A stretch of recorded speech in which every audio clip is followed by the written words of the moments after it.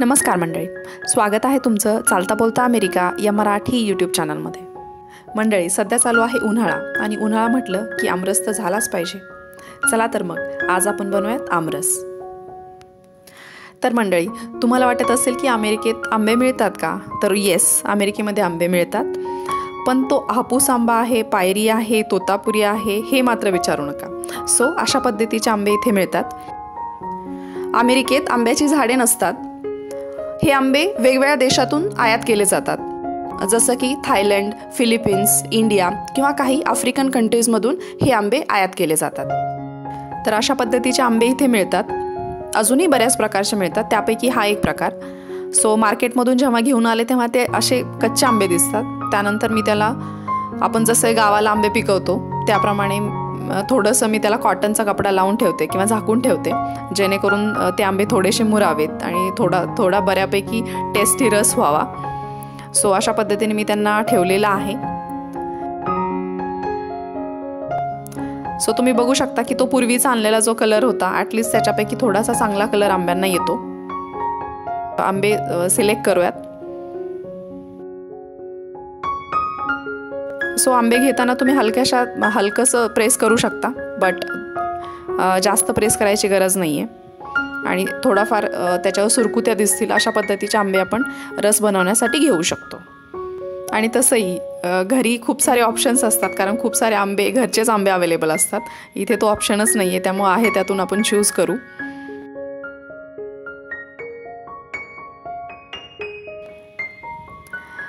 Okay तर आता आंबे घेतल्यानंतर आपण ते सुरुवातीला स्वच्छ धुवून घेऊयात.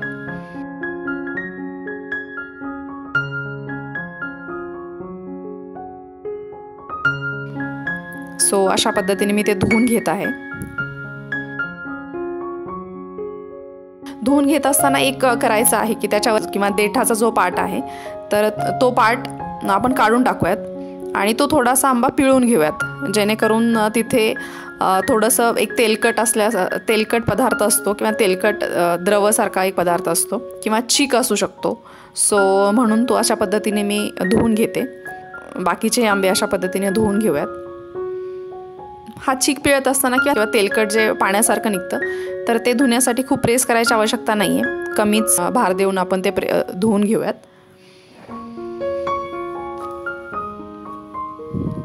सो तुम्ही बघू शकता की अशा पद्धतीने मी तो स्वच्छ धुवून घेतलेला आहे आणि वरती जो थोडा चीक म्हणा किंवा तेलकट जो पदार्थ आहे तोही त्याच्यातून मी काढून टाकलेला आहे. आता आपण हे पाणी बदलूयात आणि दुसऱ्या स्वच्छ पाण्यामध्ये हे आंबे साधारणतः एक वीस ते पंचवीस मिनटं आपण त्याला भिजत ठेवूयात.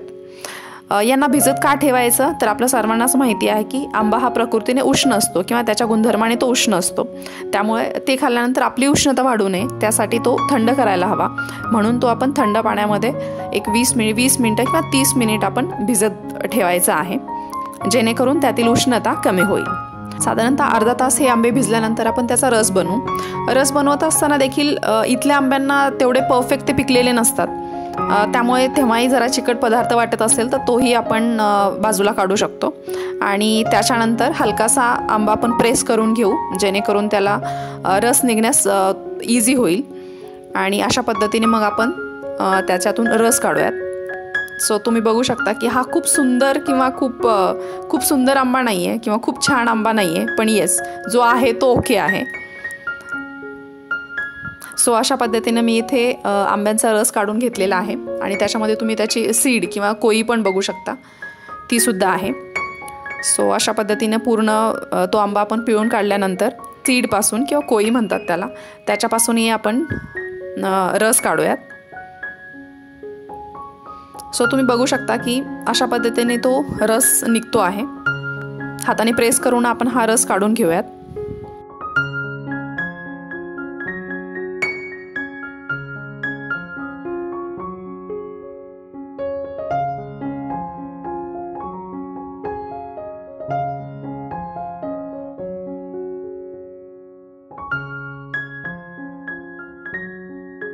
सो बाकीच्याही सीडपासून मी ती रस बाजूला केलेला आहे. आता हा रस आपण छानसा मिक्स करून घेऊयात. जेणेकरून त्याच्यातल्या गाठी असतील त्या कमी होतील. तुम्ही बघू शकता की आपल्याला माहिती आहे आंबा हा आंब्यामध्ये खूप सारं फायबर असतं.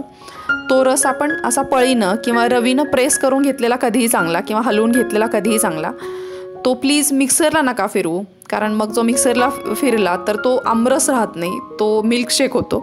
सो अशा पद्धतीने बनवलेल्या आंब आमरसाची मजा खूप वेगळी असते. सो तुम्ही बघू शकता की याला खूप पण हलवायची गरज नाही आहे जर आंबा प्रॉपर पिकलेला असेल तर तो आरामात छानसा रस त्याच्यापासून निघतो. आणि अमेरिकेतले आंबे आहेत हे. हे खूप देसी किंवा आपल्यासारखे आंबे नाही आहेत सो येस अशा पद्धतीने हा रस निघलेला आहे.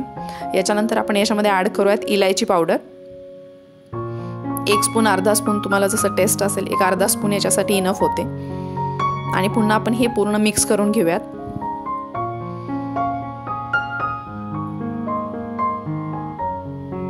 आता याच्यामध्ये आपण ॲड करूयात साखर. खरं तर ही प्रत्येक आंब्याच्या गोडीनुसार डिपेंड राहते. पण इथले आंबे खूप गोड आहेत असं मला नाही वाटत. त्यामुळे दोन चमचे साखर आपण याच्यामध्ये ॲड करू शकतो. जर तो म्हणजे जास्तीचा गोड असेल तर एक स्पून साखर पण खूप होते. आणि साखर मिक्स केल्यानंतर आपण तो छानसा हलवून घेऊयात. आणि साखर कधीही जेव्हा आपल्याला ताट घ्यायचा आहे किंवा येस जेव्हा आपण रस खायचा आहे त्यावेळेसच आपण साखर मिक्स करतो. नाहीतर मग तुम्ही बनवून ठेवू शकता रस जरा वेळापुरता आणि जेव्हा आपण ताट बनवू त्यावेळेस त्याच्यामध्ये साखर ॲड करून मिक्स करून घेऊ शकता. सो अशा पद्धतीने आपला रस तयार आहे. जो की फक्त मिक्स करून घ्यायचा आहे. सो मंडळी अशा पद्धतीने हा रस तयार आहे. ही खूप अत्यंत अगदी सोपी मेथड आहे रस बनवण्याची. तो छानसा मिक्स केल्यानंतर त्याच्यामध्ये खूप साऱ्या गाठीवरे नाही राहत. सो याच्यावर छानसा तूप घालून आपण तो सर्व करू शकतो. याच्यामध्ये केशरही ॲड करू शकता. जर तुम्हाला आवडत असेल तर तुम्ही केशर ॲड करू शकता. तो असा हा आमरस आपण पुरीसोबत साध्या पोळीसोबत तुम्हाला हवं असं त्याप्रमाणे सर्व करू शकता आणि तिखट भाजीसोबतही सर्व करू शकता. सो मंडळी तुम्हाला ही रेसिपी आवडली असेल तर नक्की लाईक करा. पुन्हा भेटूयात एका नवीन विषयासह. Stay healthy and stay happy